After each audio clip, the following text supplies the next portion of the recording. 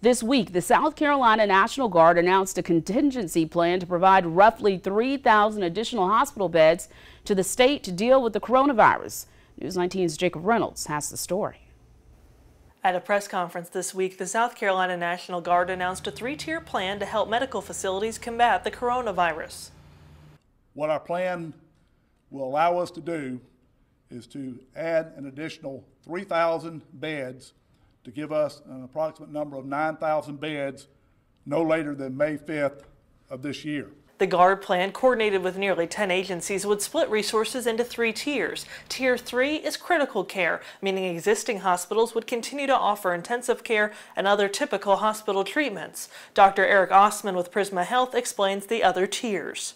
So we're going to be in the Tier 2 hospitals uh, providing care that is appropriate for those patients. It won't be as intense as we're going to provide in Tier 3, but it will be professional, high quality care on the level that South Carolinians will expect.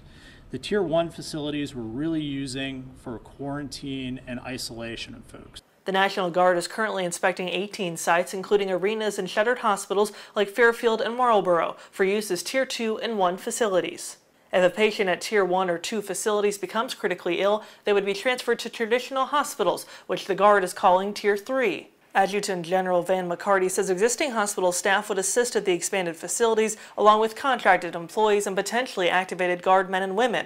The Guard plans to have the first additional 1,500 beds up and running by April 28th. In Columbia, Jacob Reynolds, News 19, WLTX. The South Carolina National Guard says hospital tents could also be used as Tier 1 and 2 facilities if needed.